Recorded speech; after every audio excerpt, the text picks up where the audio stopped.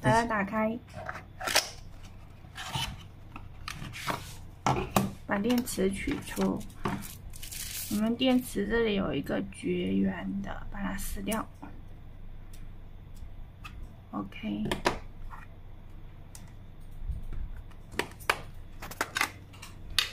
打开我们的机器。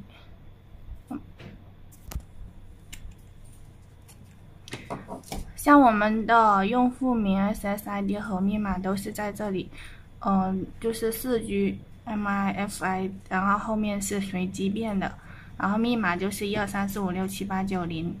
现在我们上我们的卡，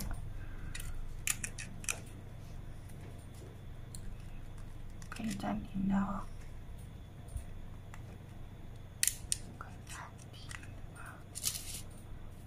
哦。上好之后，把它盖上，然后开机。连 WiFi 吗？可以了。